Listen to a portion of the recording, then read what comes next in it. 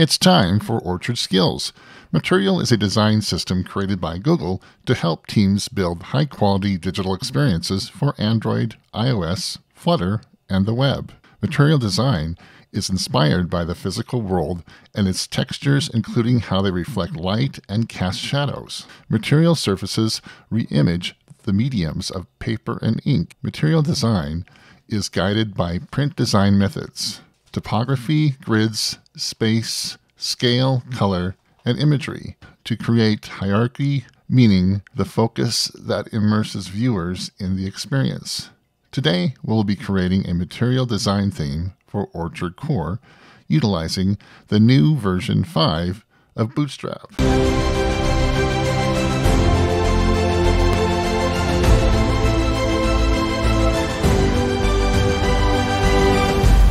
Welcome back. Let's get started. Let's go ahead and create material design theme for Orchard Core. Instead of starting out from scratch, let's head over to our GitHub repository and clone the Orchard Core CMS repository. So let's head on over to github.com slash orchard skills slash orchard skills dot orchard core dot orchard CMS and hit the code button and open GitHub Desktop. And let's go ahead and clone that. Okay, great. Let's head over to the Orchard Core documentation and let's go to the code generation templates. And that's at docs.orchardcore.net slash en slash dev slash docs slash getting started slash templates. And let's go ahead and copy this template here. Okay, let's go ahead and run the template. All right, great. Okay, let's go ahead and create the directory orchardskills.orchardcore.material design theme. All right, so now let's cd into that directory. Okay, and let's do a .NET new OC theme. Okay, great. Our Orchard Core theme was created. Let's do a directory. And there you go. We have a manifest.cs and we have some views and we have an Orchard Core materialdesign.cs proj. Okay, let's launch Visual Studio. All right, there's our solution. So let's go ahead and add the theme project to our solution. So right click on our solution and click on add existing project, Orchard Core CMS into our Orchard Core material design theme. And let's select the Orchard skills at Orchard design theme and we'll open that up. And then you'll see we have layout.liquid, a uh, manifest here. That's about it. okay, the first thing we want to do is right click on our Visual Studio solution and click on Manage NuGet Packages for Solution. And let's go to Updates make sure we have Include Pre-Releases because we've been doing nothing but pre-releases. And let's go ahead and select them all here. And let's go ahead and do an update.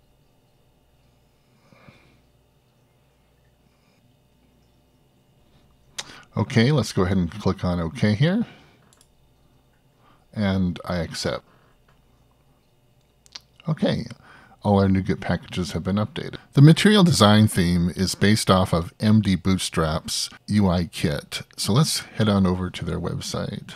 So the website is mdbootstrap.com slash doc slash standard slash templates here. What we'll utilize is the MDB5 UI kit, which is their material design for Bootstrap 5. So let's go ahead and download that. Download the file, and you'll notice it's downloaded here. Show in the folder here. And let's unzip it. And there you go. So you can see here's our CSS, our images, our JavaScript source, license, and README file. Let's bring Visual Studio back up. And for the Orchard Skills.orchardcore.material design theme, let's go ahead and shorten it. And let's go ahead and just make it material design. So that'll be a lot easier to manage here. As you can see, the material design theme that we generated through the templates is pretty minimal. The only file that is the layout.liquid and the manifest.cs. And let's compare the directories to like the blog theme has. There's a recipe directory and of course there's a views directory, but you can see the views directory here is just one file. So let's just go ahead and delete this guy here. And then let's copy the recipes, views, www, the resource manifest file, and the startup file. Copy all of those over to here. So this is basically a hybrid between Razor files and liquid files, and most of them are liquid files. When creating a theme, it's a lot easier to utilize what Orchard Core has done with their blog themes or their any of their other themes. So that's what we're doing here is we're going to copy all of these liquid templates over to form a basis of our material design theme. So now let's bring up Visual Studio and we can see all the files that were now included that we copied over. We have a recipe directory and in the recipe directory we have a footer.html. So this is a widget footer and then we also have two JSON files, which is the recent blog post.json and search blog post.json. So looking at the footer file here, you can see this just contains HTML for the footer information. So this is basically a widget here that was created. And then looking at the recent blog post, these are just the, the search criteria for the recent blog post and also for the search. And so they have your terms in here. And then of course, here's the main recipe, which is the material design recipe.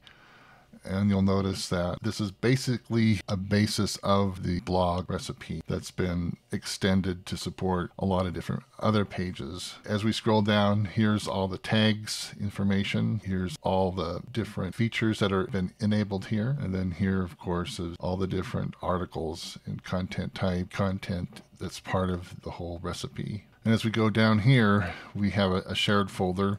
So this is the login menu. And so this is a razor page here. And then we also have a liquid template here that not found. So when a page is not found, it'll show a nice formatted page. And we also have a search. So it'll show a search page when we select on the search. And then here's our view imports.cshtml. And of course, here's our blog, our categories for our um, taxonomies. Here's our content, our article, our blog, blog post, our category, content page. And then here is a, the layout.cshtml. This is basically the kind of like the index.html. This is one of the main important files. And you'll notice that here we're adding search engine optimization. So we're adding a Google tag for our Google Analytics. We're doing all the SEOs where we're showing all, describing all the descriptions of that so that the search engine can get all the information, the Twitter tags and all that, Apple icons and all of that such. And then, of course, we're loading all the material design themes and such. And then basically, as we go through further down here, you can see that we've got the nav bar here. So, and then we have our different render sections. So basically, this is a hybrid between Liquid and the, the CSHTML, which is the Razor pages.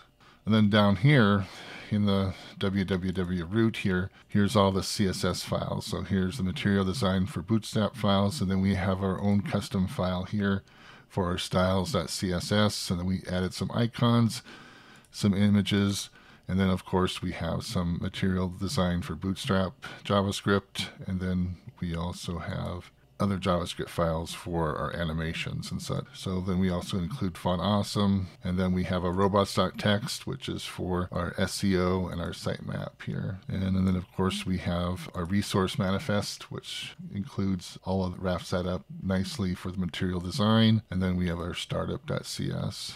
So let's go ahead and run the application here. So let's go ahead and hit the little green triangle button to start the application. Okay, let's go ahead and select the material design theme. Make sure we put in our credentials and then let's go ahead and hit the finish setup button. And there you go. Here's the material designs. This is where we, our icon is being displayed. Here is the name of our application, which is my Orchard Core CMS. And then we have a toggle button here that will switch between a dark theme and a light theme. So if you notice down here, we select on we have a light theme here. And then we have all of our social icons appear on the toolbar. And then we have our home, which is currently here. We have our blog page. We have our about page. So you can see we have our nice about page that talks about Orchard Core. And then we have our contact page where you can send messages we have our search page so we can actually search for say we'll search for Visual Studio And then there you go. There's something on Visual Studio. Or let's search on Start. And then we have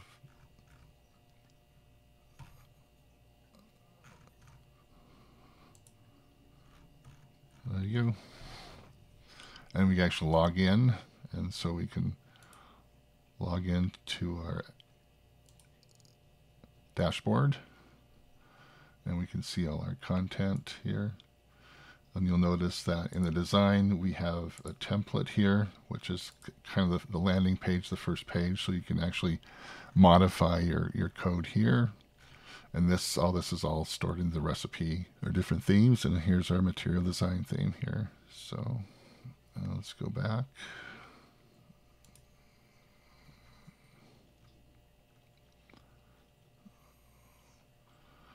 so we have our nice links and that if you want we can go ahead and switch into a dark theme so and then which is really nice is if we click on here then you'll notice that all of these forms or basically forms for material design. So you click on that, put the last name, email, and the subscribe button. So there you go. This is material design for Orchard Core. Now, if you missed or didn't understand something, that's okay. There's a detailed blog post that describes all the steps. There is also a GitHub repository with the complete source code. All this information is in the video description. If you like this video, please click on the thumbs up icon. Also, please subscribe and click on the bell icon to get a notification when I release the next video. Thank you for watching.